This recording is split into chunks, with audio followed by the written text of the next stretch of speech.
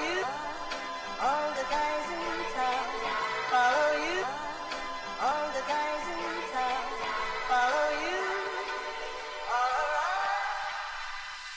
Halo teman-teman semuanya, pasti kalian tahu kan kalau hobi gue itu motoran Dan yang pastinya untuk mobilitas gue ke mana-mana Kadang gue juga suka pakai mobil gue yang bermesin diesel teman-teman. Nah hari ini gue ingin memperkenalkan produk yang di mana ini bagus banget Untuk meningkatkan performa mesin kita Performa mesin motor kita Ataupun kendaraan mobil kita. Setelah satu minggu gue pakai CR Max Ini benar-benar terasa banget untuk performanya yang sangat meningkat Dan CR Max mampu menurunkan emisi sebanyak 40% teman-teman.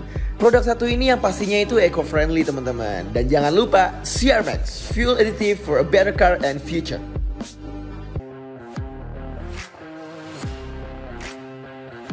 Apa inst- apa efek yang instan bisa dirasakan? Yaitu perubahan performa peningkatan performa. Oke. semua yang pakai CR Max ini merasakan bahwa performanya mobilnya enteng. Digas responsif.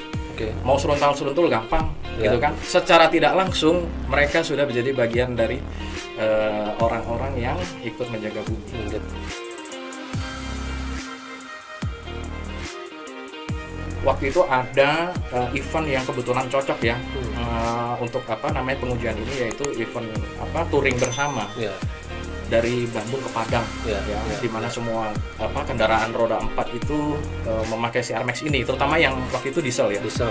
ya diesel eh, karena ketika kita menjelajah ke Sumatera eh, lagi-lagi eh, apa namanya kebutuhan BBM yang artinya yang bagus mungkin terbatas ya ininya. Sehingga aditif ini sangat membantu sangat membantu terutama dari performa dan emisi Ya. Uh, setelah dari situ ternyata ya mulai dikenal dikenal di kalangan uh, internal klub kemudian dari mulut ke mulut mulai apa mulai uh, sharing ya mengenai BBM ini dan kami pada prinsipnya sangat open untuk bisa diskusi ya sehat begini karena memang hasil risetnya jelas Oke. ya Uh, bahkan kami juga menggunakan senyawa-senyawa yang sudah ada US patentnya Oh, oke. Iya.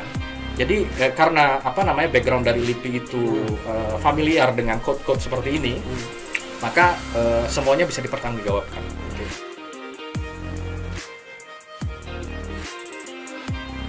Artinya dengan aditif CR Max ini sudah boleh dibilang terselesaikan. Oke. Ya, sudah ada solusinya yang tidak perlu apa namanya khawatir kalau misalkan kita trip jauh Ya, gitu ya. ya, ya. CR Max ini disusun dari bahan-bahan yang pertama eh, artinya tidak me- eh, berbahaya kepada lingkungan, gitu ya. Berbahaya untuk mesin juga tidak tidak berbahaya. Dan memang dirancang untuk bisa digunakan sepanjang eh, waktu. Jadi sifatnya itu bukan every 5000 atau 10000 km. Ya, ya. Tapi di every kita fuel tank memang Max ini desain untuk itu Ya. dan tidak usah khawatir mengenai apa namanya eh, katalis converter tersumbat atau ada DPF-nya tersumbat dan sebagainya karena penggunaan logam apa aditif yang mengandung logam jadi nggak usah khawatir.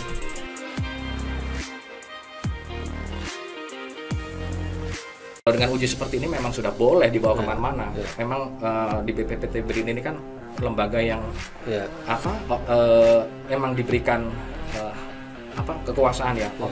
hak untuk bisa menguji dengan Ya. standar-standar yang Euro 4 United Nations. Semua mobil baru ditesnya di sini, Bro. Oh, Oke. Mobil baru itu di eh, sekarang kan ada nih eh, namanya pajak berdasarkan CO. Ya, eh, betul. berdasarkan CO2 ya. Hmm. Semuanya ditesnya di BPPT, Bro. sini ya. Mobil-mobil yang seka- yang nilainya yang cc-nya gede-gede kalau dulu kan makin mahal ya. Ya, betul. Eh, karena eh, pertimbangannya dari sisi mesin. Betul. Bahkan sekarang mobil-mobil yang cc-nya 3000, 3500 ada penurunan harga sampai 500 juta.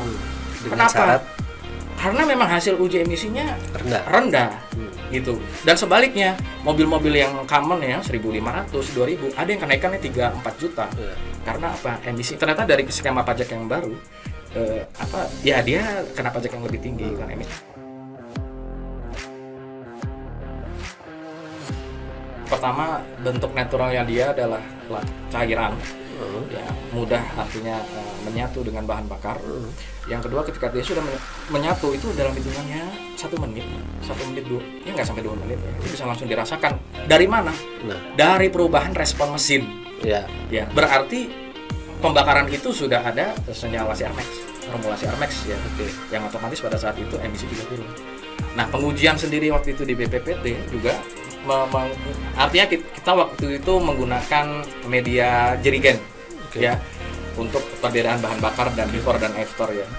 Ini tidak seperti bengkel apa namanya bengkel dyno yang kita sering jumpai, Iya, iya. bengkel tuning Iya, ya. iya. Karena ini standarnya Euro 4. Iya. Euro 4 itu ada step-step yang harus dilalui. Contohnya apa? Pengukuran emisi itu dilakukan dua kali. Pada saat cold start, pada saat eh, mencapai apa suhu kerja, ya, before polosan, ya. Nanti afternya gitu lagi. Berarti kan mobil harus dingin dulu nih. Ya. Itu harus dingin dulu, tunggu 6 sampai 7 jam sesuai dengan eh, sampai mencapai suhu lingkungan, baru dilakukan yang afternya Hmm. dengan penggantian filter eh, bahan bakar ya kemudian bahan bakarnya juga kita eh, supply baru dari jirigen diambil jadi nggak dari tangki Hmm. tangkinya jadi nggak usah dikuras-kuras Ya, gitu ya, kan ya. Eh, ya langsung se seinstan itu perubahannya Ya, kalau mobilnya itu mobil yang canggih dan BBM-nya juga BBM yang bagus, ya artinya ya itu apa namanya performanya lebih baik Iya. jadi kalau dari Euro 1 emisinya jadi particulate-nya jadi Euro 4 Hmm. kebayang dong Iya. kalau pakai BBM yang lebih tinggi uh, lagi. lebih tinggi lagi, misalkan yang ya merek inilah ya, Iya, yang, iya. yang banyak dijumpai itu Euro 3 saat ini. Mau Iya. transisi ke Euro 4 Iya. sampai tahun 2022. Iya. Nggak nggak nggak nggak ini, Bu. Nggak apa namanya? Tidak mustahil ya, Iya. bisa Euro 5, Betul. bahkan Euro 6. Iya. Apa efeknya? Anjir, mobil gue enak, Betul. ngegas terus Iya. ya. Gue pernah nyoba nih. Gimana? Jadi pernah, Iya. gue teman-teman nih, gue pernah nyoba nih. Jadi gue pernah dapat eh, apa produknya. Terus gue pernah coba di tempat gue dalam kota. Biasanya gue 1617 Oh iya. Oke. kota. Kalau pakai CR Max Mobil apa? Ben- Bensin. bensin, Captiva bensin. Gue Oke. pakai Captiva bensin. Hmm. Eh, sesinya kan 2400 ya. Hmm. 2400 uh, gue pakai eh, CR Max. Terus dalam kota sekitar 19 Oh, Ya, dari gitu satu- ya, dari satu enam ya? Dari 117 gue 19 Itu dari dari sisi luar kota mungkin bisa lebih tinggi lagi. Oke. Oke. Ya, Itu dari sisi bahan bakar ya. Betul, betul. Masukan dari gua ada botol itu bisa dipakai 120 liter. Ini bisa dipakai 120 liter. Iya, BBM ya. Jadi kalau misalkan uh, full tanknya 30 liter bisa dipakai empat kali. Oke, Ya. oke bisa dipakai 4 kali ya. Yes.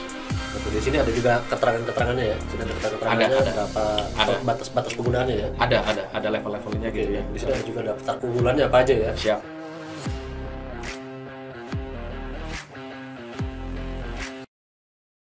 Untuk dieselnya ini lebih banyak ya. Ya, memang ada perbedaan volume ya.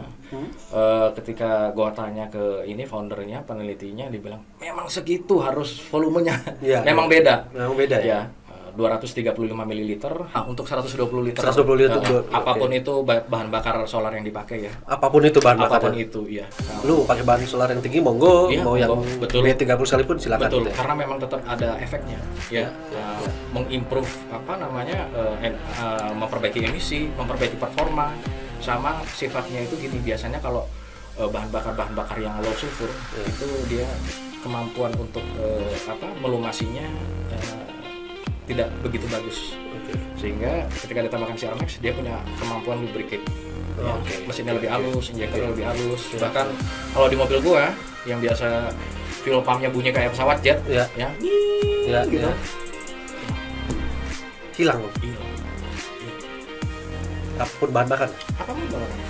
Ya, bahan bakar. Jadi eh, dan istimewanya CR Max ini ya di, di riset berdasarkan kondisi BBM yang ada di Indonesia. Jadi nanti nih katakanlah nih ya kita kan punya roadmap pemerintah tuh kan sekarang menggalakkan konversi BB eh, konversi energi Ya. menggunakan BBM yang terbarukan. Ya. Ya, apa nih terbarukan? Kalau biasa kita kenal solar kan dari fosil ya. Ya. Tidak terbarukan loh. Lo nunggu dinosaurus mati lagi kan nggak mungkin kan bro ya. mungkin. Pasti kan habis kan bro. Ya. Jadi eh, terbarukan dari apa? Mi- Minyak sawit ya Hmm. atau bahan-bahan nabati Ya. ya sehingga akan dicampur dengan komposisi tertentu. Ya. Kalau sekarang programnya kan B30 Ya. ya. Kondisi fame-nya itu 30%. Ya. Tapi dalam roadmap itu pemerintah juga berencana menaikkan itu dari sampai 50% Ya. atau bahkan lebih ya.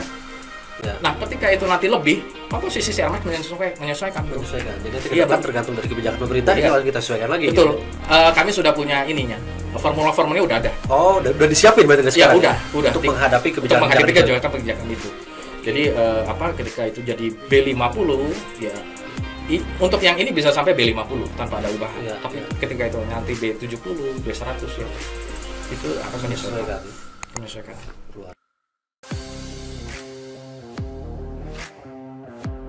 Ini sedikit eh, apa namanya intermezzo ya. Hmm. Eh, kita lihat kemarin beberapa waktu lalu eh, dari klub menginisiasi untuk eh, uji-uji emisi. Kemudian bahkan sebelum itu mobil-mobil eh, tim gua juga rutin uji emisi ya karena ada yang double cabin Hmm. ya. Double cabins eh, apa namanya? eh, common rail diesel itu juga signifikan banget. Opasitas yang dibutuhkan apa ambang batas 40% pakai siapa cuma 6% uji ya kita berbicara opasitas ya kalau misalkan uji-uji yang ada di apa bengkel-bengkel itu memang sebatas opasitas Ya. kalau yang di BPT ini lebih advance Iya, iya, iya. Euro 4 Lebih banyak Euro ya. 4 itu yang diuji banyak Iya. jadi ada apa NOx-nya Ya. ada hydrocarbons Iya. ada particulates Iya. ada CO ya banyak Ya. Dan itu satuannya bukan persen Iya. gram per kilometer. Jadi Lebih memang detail. benar-benar lebih detail.